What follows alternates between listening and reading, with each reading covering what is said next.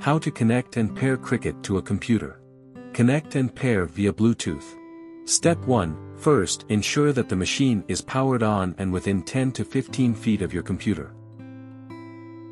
Step 2. Next, click on Devices and turn on Bluetooth and you'll get a list of available devices. Step 3. If your device does not show up in the list, click on Add Bluetooth or other device.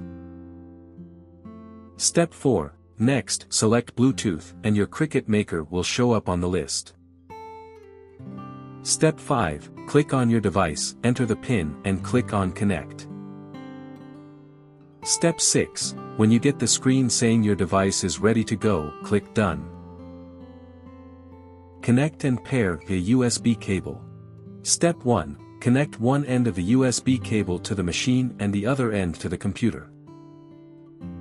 Step 2, make sure that the machine is powered on.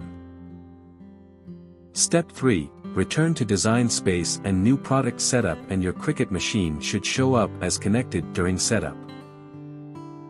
For more such help and information, visit us at www.mannymaker.com or call us at plus 1 786 866 5932 plus 44 020 3983 0480.